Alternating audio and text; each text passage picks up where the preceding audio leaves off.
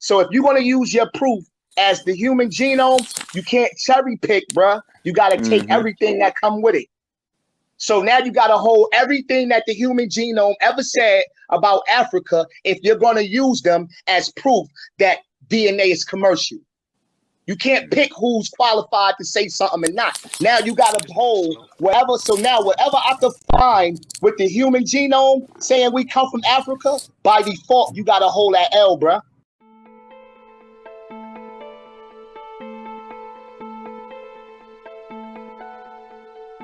So why doesn't everybody go ahead and open up the boxes? There's a little uh, test tube there that has a, a funnel on top. And what you're gonna do is you're gonna spit in the test tube. DNA testing has become cheap, easy, and fun. All you have to do is spit into a tube. Try not to have it like a whole lot of bubbles. You really wanna give them a sample so that they can read it. Six weeks later, you have the results. Millions have done it.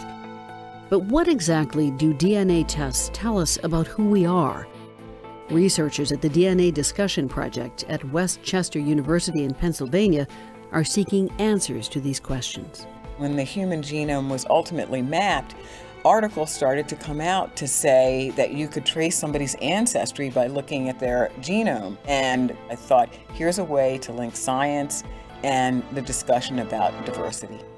How do people talk in your family about who you are, about what race you are, about your ethnicity? How was that explained in your family? My family always talks about like intermarriage or intermingling with Native Americans, but never about intermingling with whites or Europeans. But there's very clearly lots of like lighter skinned black people in our family. So I know that it's somewhere down the line, I'm assuming, but nobody has ever discussed it. And the first time I told my mom I was doing this, she was like, "Oh God!" Like she was scared because I feel like in my family there's like a lot of different little secrets. The goal of the DNA Discussion Project is to encourage conversations about race in a positive way, uh, beginning from positions of perspectives of similarity rather than of difference. With the sequencing of the human genome in 2003, the doors opened to ancestry testing. A team of scientists at Stanford University is using DNA to study the complex origins of human diversity. What DNA changes do you carry that make you unique? What DNA changes do you carry that are similar to mom? What DNA changes do you carry that are similar to dad or granddad? And it is a book about you, and everyone's profile is completely unique. Humans are much more similar than you may think. All human beings are 99.9% identical. That 0.1% variation actually comes from ancient DNA. somewhere between 50 to 100,000 years ago, at the inception of our species, the human genome pool was sampled as we went through the great human diasporas and migrating out of Africa to colonize the rest of the world. And most of the variation that we think of today, so called common DNA variation, is actually quite ancient and shared across different human groups. The Ancestry test compares your DNA to the genetic signature of different regions of the world. Most companies keep large databases of all the people they've tested, so they can match you to close and distant relatives and also give you clues to where those people may be located in the world. And so what we're literally seeing are the ancestors and the segments of the ancestors' genomes that have percolated down into modern day populations. For the past decade, Lawton and Foeman have been inviting groups of students to take the Ancestry test. Uh, the first thing I always like to ask is, did anybody have like an immediate reaction to their results? After the reveal, we asked people to uh, discuss the relationship between their stories and what they find in their DNA.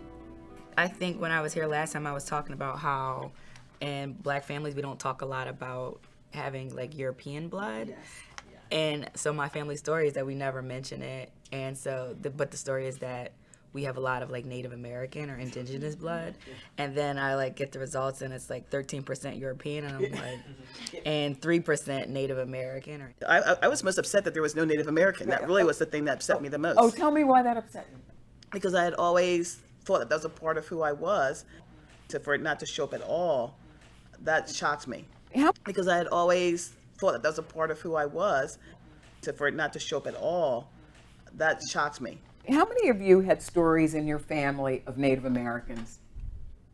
A big majority of our respondents or participants in the study received profiles that include a lot of races or ethnicities that they did not expect.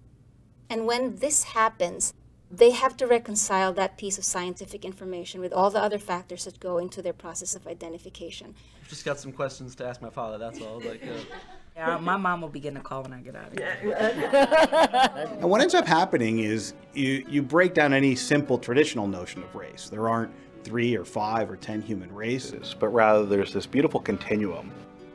On average, um, an African and American individual would have about 75 to 80% West African ancestry and about 20 to 25% European ancestry.